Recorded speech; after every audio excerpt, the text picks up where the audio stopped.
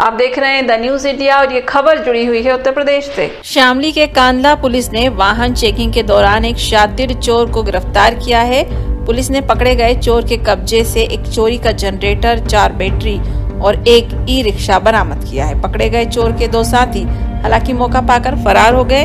Police ने पकड़े गए चोर और दोनों फरार साथियों के खिलाफ मुकदमा दर्ज कर लिया है और चोर को जेल भेज दिया है। एसपी विनीत जायसवाल के निर्देश पर एसआई अनूप कुमार क्षेत्र कस्बा एलम में वाहन चेकिंग कर रहे थे। इसी दौरान इस व्यक्ति को हिरासत में लिया है। आपको बता दें, हिरासत में लिए गए व्यक्ति का नाम साजिद पुत्र नसरुद्दीन निवासी सब्बा खेड़ा थाना बड़ोद जनपद बताया गया है। पकड़े गए चोर ने अपने फरार दोनों साथियों के नाम भी बताए हैं और पुलिस अब इस मामले में छानबीन कर रही है। जनपद शामली की कांदला पुलिस ने वाहन चेकिंग के दौरान कांदला क्षेत्र के दिल्ली सहारनपुर हाईवे स्थित एलम चौकी के निकट से एक साथी चोर को गिरफ़्तार किया है। पुलिस ने पकड़े गए चोर के कब्जे से चोरी का जनरेटर एवं चार ई रिक्शा से चोरी हुए बैटरी भी बरामद किए हैं। फ़िलहाल तो पुलिस ने पकड़े गए चोर के खिलाफ संबंधित धाराओं में मुकदमा दर्ज कर जेल भेज दिया है और आगे की कानूनी कार्रवाई शुरू कर दी है।